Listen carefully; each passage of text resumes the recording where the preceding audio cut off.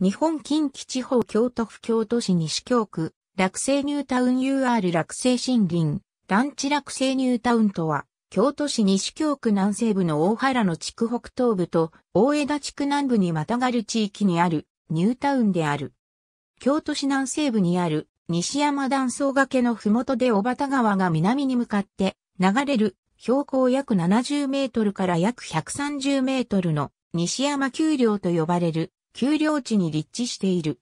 この丘陵地は小畑川を境にして東側が向こう町丘陵で西側が大原の大地とも呼ばれている。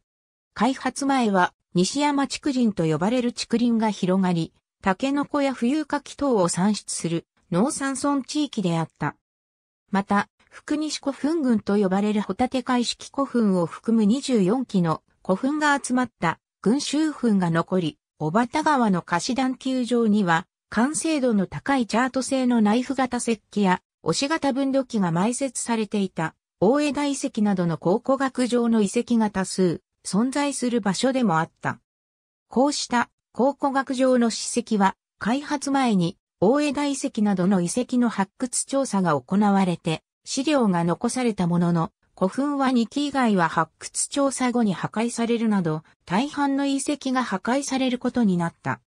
ただし、一部の古墳が公園として残されているほか、西山竹林を伝えるものとして、京都市落成竹林公園がニュータウン内に整備された。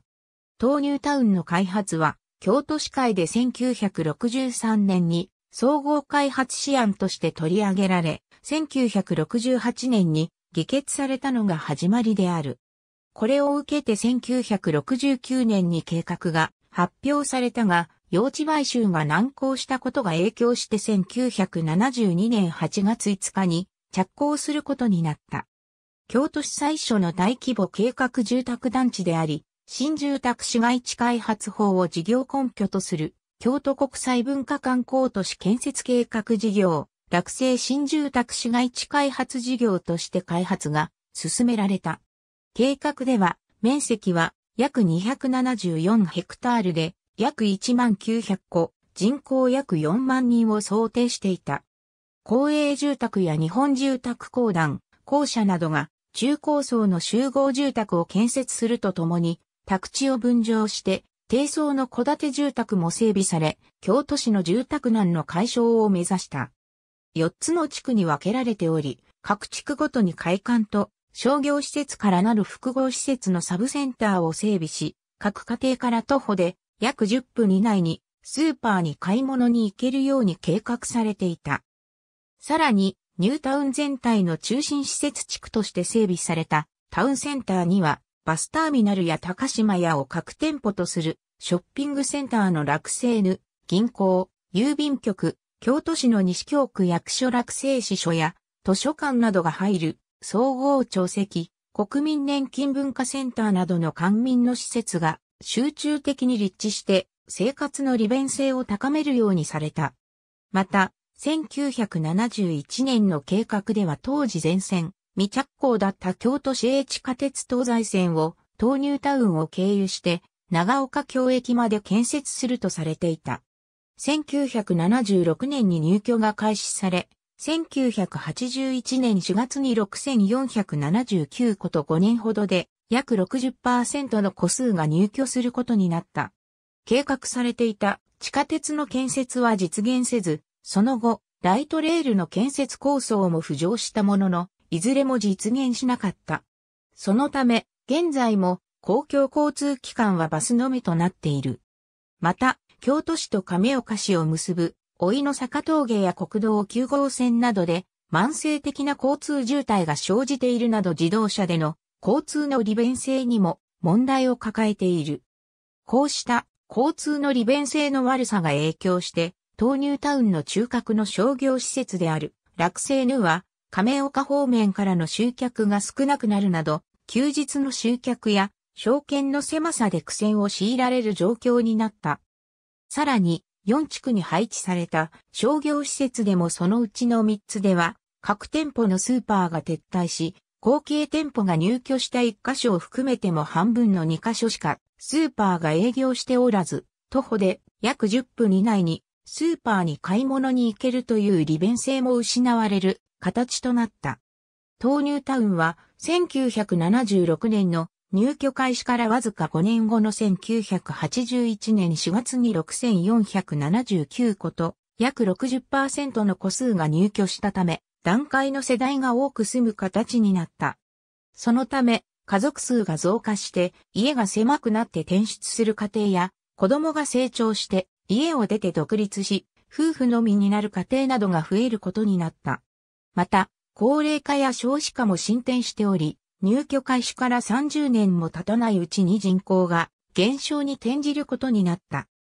豆乳タウンの商業施設などは、京都市が出資する第三セクターの落成ニュータウン管理公社が運営していたが、同校舎が外郭団体改革の一環で2009年3月末で解散して京都市住宅供給公社と4月に合併し、京都市住宅供給公社落成事業部が継承することになった。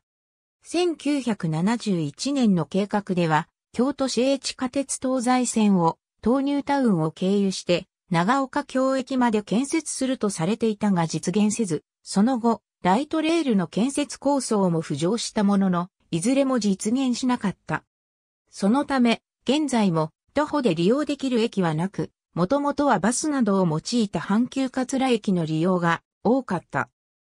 堺谷本2を投進した延長線上にある京都府道201号中山稲荷線に阪急落成口駅が2003年に開業したほか、豆乳タウンのタウンセンターから東へ約 3km 離れたキリンビール、京都工場跡地の再開発地区である京都桂川紬の町に2008年10月18日に JR 桂川駅が開業するなどより近い距離にも駅ができている。なお、駅までは京都市営バスなどを利用して約15から30分程度かかる。タウンセンターにはバスターミナルが設置されている。1977年4月4日の京都市立新林小学校が開校したを皮切りに、翌年の1978年4月1日に、京都市立落成中学校が、京都市立柏原中学校に私分校として開校。1980年4月5日に、境谷小学校が、新林小学校東分校として開校するなど、豆乳タウンの住居の建設の進展に合わせて、学校の開設も進められた。高等学校で最初に豆乳タウンに開設されたのは、京都府立落成高等学校であった。1980年には、京都市立芸術大学がキャンパスを当地に移転している。落成ニュータウンの住所の表記は、大原の東京谷町町名番地のような、町名と二つの数字からなる住居表示に似た形をとっているが、町名の後の数字は住居表示実施地区における外区符号、住居番号ではなく地番である。ありがとうございます。